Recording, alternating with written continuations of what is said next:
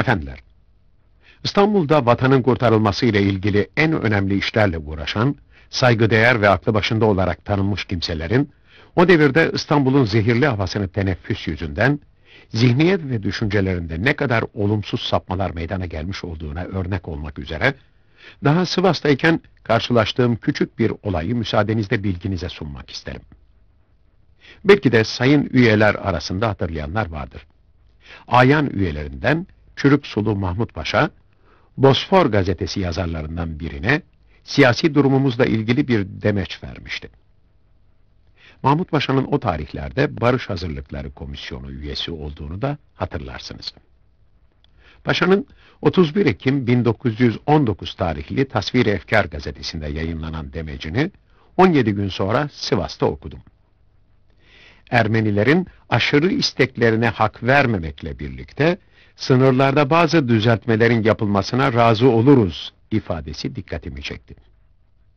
Doğu Anadolu'da Ermenistan lehine toprak tavizlerinde bulunulacağına söz verme anlamı taşıyan bu cümlenin, Barış Komisyonu üyesi olan bir devlet adamı tarafından söylenmiş olması, gerçekten üzerinde düşünülmeye ve hayretle karşılanmaya değerdi.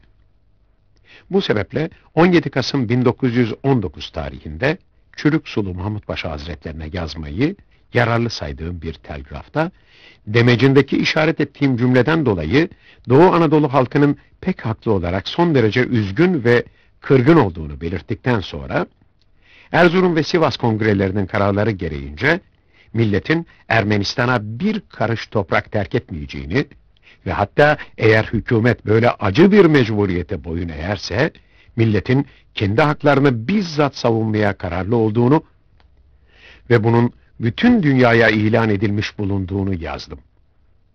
Ve bu milli azim ve kararın herkesten önce Barış Hazırlıkları Komisyonu'nun sayın üyelerince bilinmesi ve ona göre hareket edilmesi gereğini arz ettim.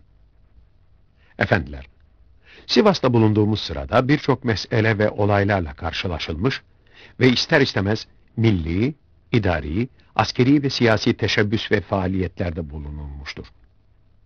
Bunların hepsini ayrıntılarıyla anlatmak uzun sürer. Yalnız izlediğimiz olaylar zincirinin birbirine bağlanmasını sağlayacak bazı noktalara işaret ederek geçeceğim.